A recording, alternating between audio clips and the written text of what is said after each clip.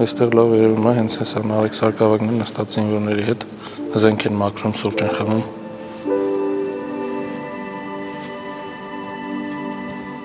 Սրանք կոնկրետ մատաղիսի զինվորներն են։ Որ զորամասի գնդերեցներ Նարեկ Սարգսակ Պետրոսյանը։ Նարեկ Սարգսակը պաշտպանության նախարարության հոգևոր առաջնորդի օգնականներ Եվ դուք այստեղ փաստորեն Հա, այստեղ այցելել ենք հյուսիսային առաջնագից զինվորների հետ շփվելու, աղոթելու։ Երբ զոհվեց Նարեկ Սարգսակը։ Հոկտեմբերի 28-ին է զոհվել։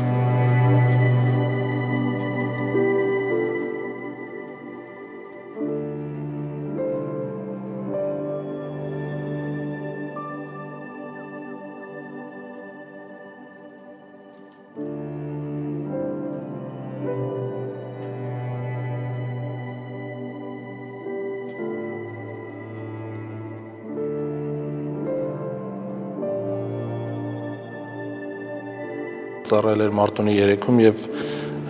երբ որ այցելել էր Մարտունի 3-ի իր նախկին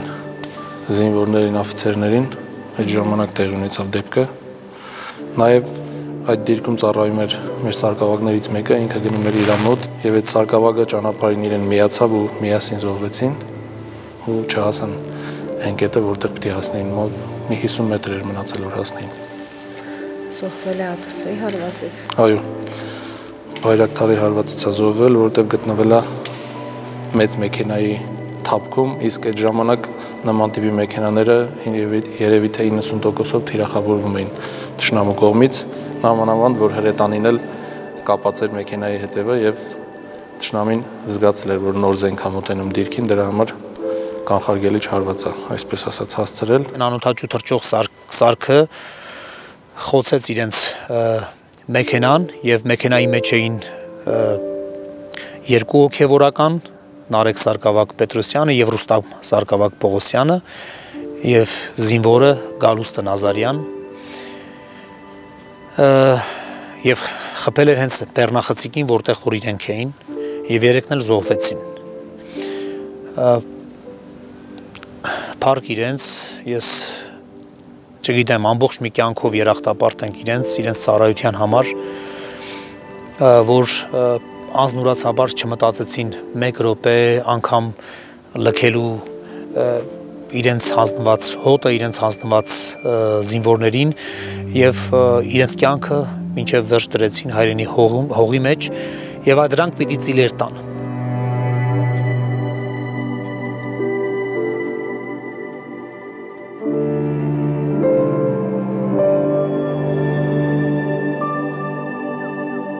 պատկերացնում ենք, որ պատերազմը մի արտառոց երևույթ է, բայց պատերազմն էլ զինվորական ծառայության մի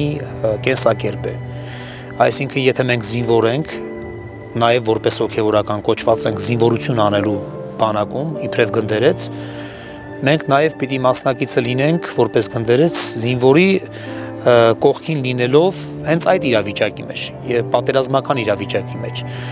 Եվ արտարոց բան չէր, որ գնդերեսները բոլոր 44 օրյա պատերազմի ընթացքին բոլոր իրենց զորամասերում էին եւ նրանք էլ ովքեր որ նույնիսկ Արցախում չէին, շտապեցին, աճապարեցին լինելու Արցախում եւ կարելի ասել մեր շարժիչ ուժը մեր կառույցի շարժիչ ուժը, եթե չափազանցնեմ, Նարեկ Սարգսակներ, որ ամբողջությամբ համակարգում էր բոլոր գնդերեսների ծառայությունը, նախարարությունում Սրբազանի հետ միասին համակարգում էին այդ ամբողջ ծառայությունը, համակարգում էին ամբողջ գնդերեսների հոգևոր ծառայության կերպը։ Հենց եկավ Արցախ միանգամից գնաց Հադրութի ամենա վտանգավոր դիրքերը, որտեղ զինվորները նահանջել էին ու երկրորդ գծում էին պաշտպանություն կազմակերպել, կարելի ասել 0-ից դիրքեր էին կառուցում, ինքը 10 օրը տեղ մնաց, մասնակցեց այդ դիրքերի կառավարմանը եւ ամեն օր որ կապի մեջ էր անդադար ասում էր որ վար, ամեն վարքյան մահվանից ենք ազատվում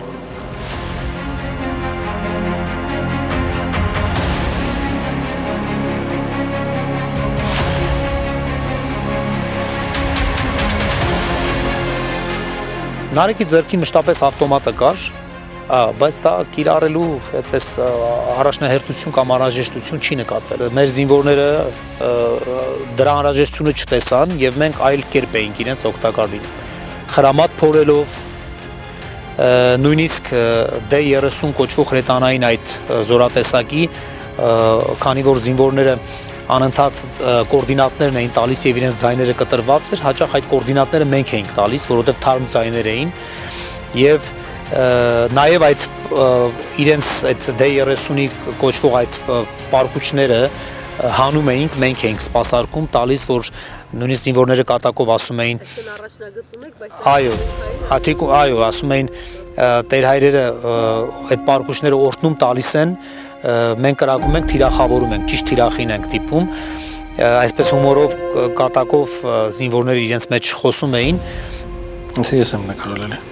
Նա որ վիդեոներում գցում եմ նկարածում։ Այս տղան այդ օրը թուրք էր սպանել, հետո բայց 40-ի հասցրեց մարտական խաչ էին տվել։ մարտական խաչ Պարքևին արժանացել է հետմահու նաև Նարեկը, հա, Նարեկ Սարգսյանը։ առաջին աստիճանի։